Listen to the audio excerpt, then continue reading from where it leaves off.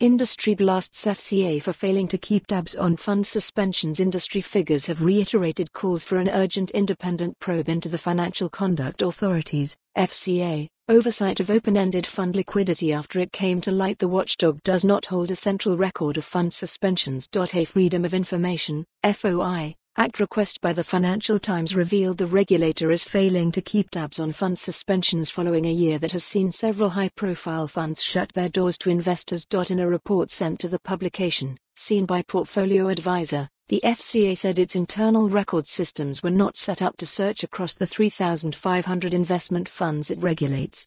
It added in order to uncover how often funds suspend, staff would have to carry out manual searches of each fund's file, which would take between 2 and 5 minutes on average. This would entail reviewing an extensive amount of information spread among a range of systems and business areas to determine that which falls within the scope of your request. The response said too expensive to conduct relevant search. The response also said conducting this level of search would exceed the cost limit attributed to requests by the Ministry of Justice in Section 12 of the Freedom of Information and Data Protection, Appropriate Limit and Fees, Regulations 2004. For the FCA, the appropriate limit is £450, EA 18 hours at the rate of £25 per person hour. The response said, this exercise is made more difficult and time consuming still by the fact that over the relevant period different departments held the information and that it was held on three different databases. Therefore, to determine what information is responsive to your request among this material would exceed the appropriate cost limit provided by the Act. A material impact on hundreds of thousands of retail investors. The revelation comes after a year in which the Woodford Equity Income Fund was frozen then wound down due redemptions and liquidity issues.